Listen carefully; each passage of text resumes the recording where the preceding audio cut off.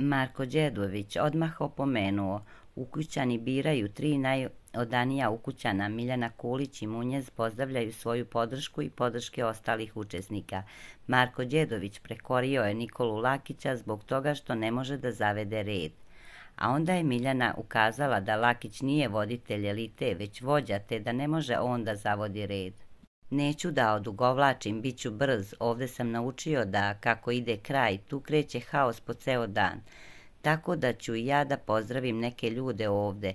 Pozdrav za Bilalovu podršku, Mensurovu, za Denizi Slovenije, tako da eto, ja ću da tražim da mi se pruži podrška, rekao je Munja.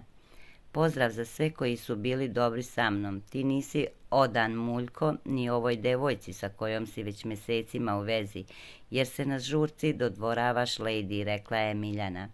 Lakiću, ti treba da zavedeš ovde red i da vodiš sastanak. Totalno nemaš autoritet, rekao je Đedović. Ne mogu, Marko, totalno sam izgubio glas. Šta ja da joj kažem, više kad ne sluša ništa. Ne mogu da je smirim. Ako ona mene ne sluša, rekao je Lakić a potom mu je Miljana zapušila usta. On ovde nije voditelj, već vođa. Ne može da zavodi red, rekla je Miljana. Najodaniji su bili Uroš, koji je odan svom ocu, Žana je odana svom mužu. Miljana je svim svojim partnerima, rekao je Munjez.